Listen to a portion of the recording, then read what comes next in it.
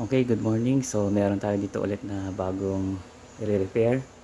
Ito ay custom KG 100 FX 212 by custom. So, ito siya. There you go.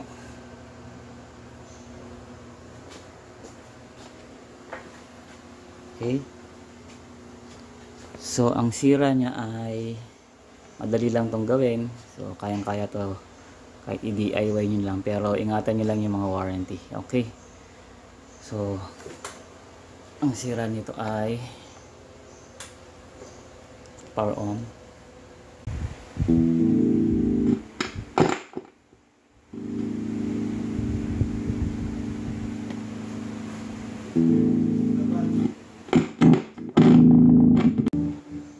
So ang sira niya ay potentiometer. So papalitan na lang natin itong potentiometer since bago pa ito. So papalitan natin to. Okay? Let's go.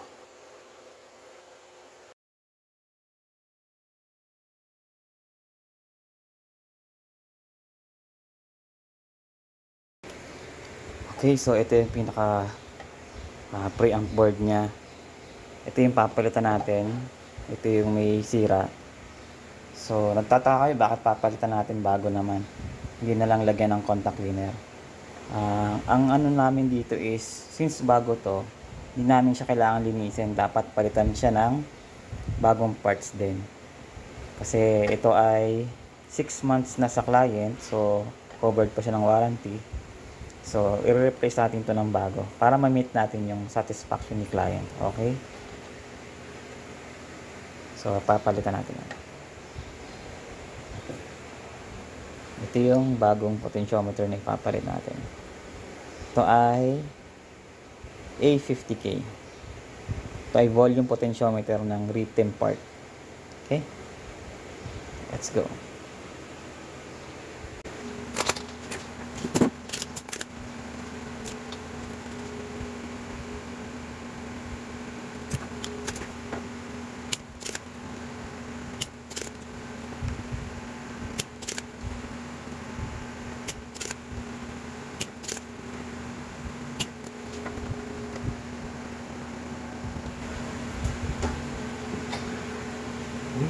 So, ito yung sira niya. Palitan na natin ito na bago. Okay.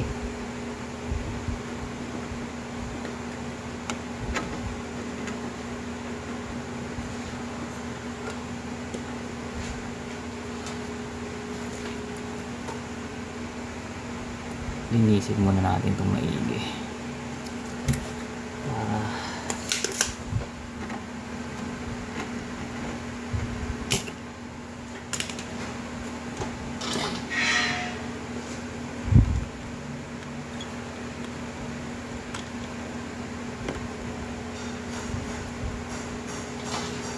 Kung magpapalit kayo ng potentiometer, dapat same value din.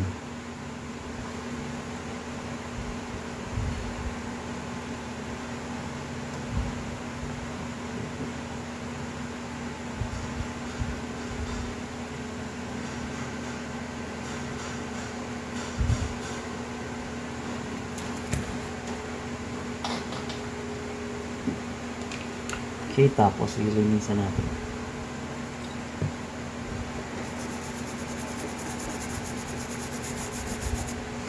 Okay, so assemble na natin ulit.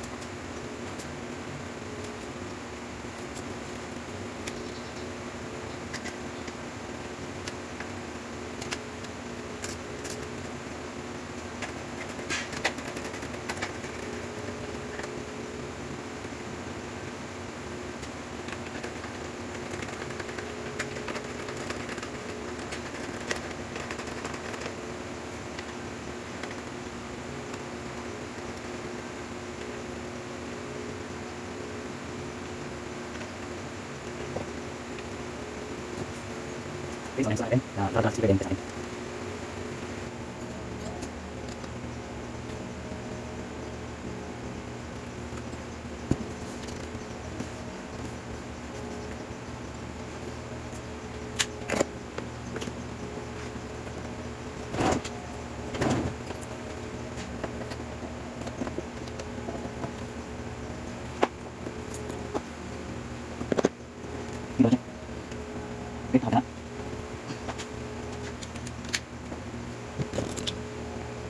Baba.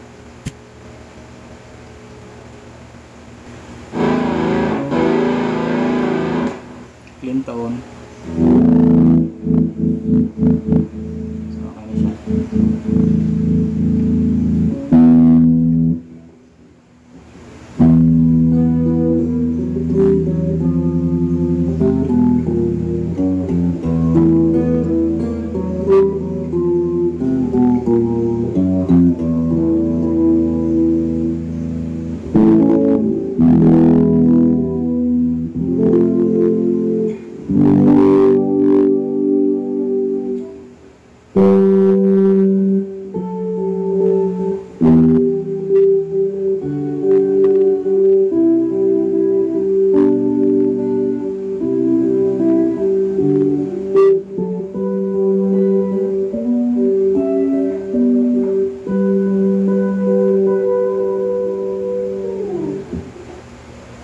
sa ah, lead part.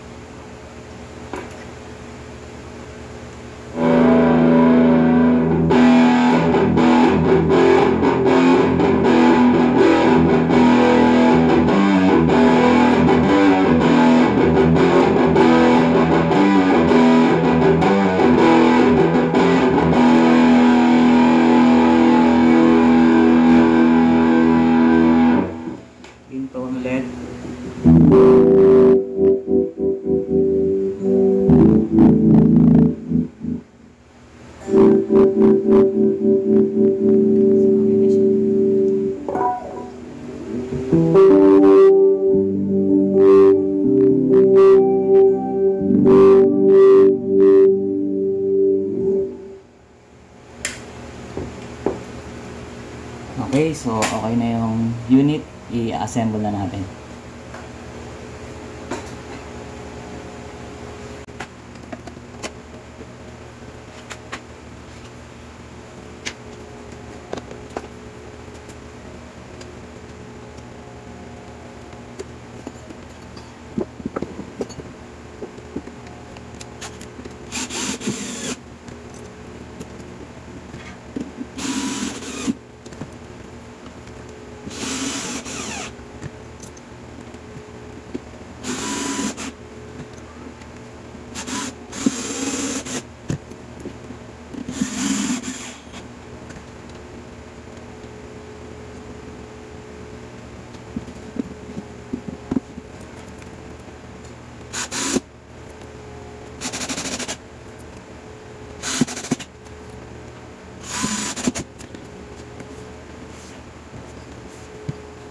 Yun yung ating custom guitar amplifier. So, i-contact na natin si client para makuha niya na itong unit niya. Okay? So, thank you for watching. Sana sa sunod na video manood ulit kayo. Okay, thank you.